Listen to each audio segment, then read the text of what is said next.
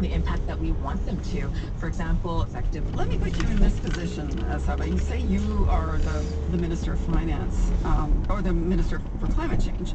You're looking at the government supports of the fossil fuel industry and trying to choose what could stay and what should go. Which government supports of the fossil fuel industry would have to be reevaluated for Canada to be in line with the latest IPCC report? Well, Canada simply has to stop public financing in fossil fuels, period.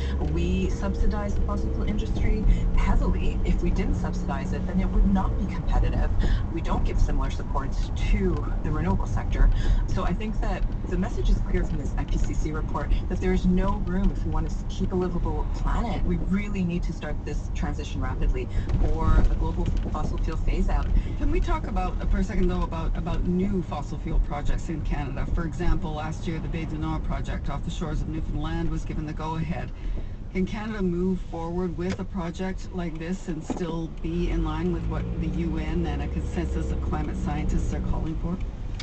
Absolutely not. There should be no further development, expansion of fossil fuel projects. And Canada has a special role to play. We have a historic responsibility in this crisis because we have been one of the largest producers. We heard Steven Guilbeault, when he approved Bay du Nord, say that he was giving, attaching so many conditions to the project going ahead, including the mm-hmm. fact that it would need to be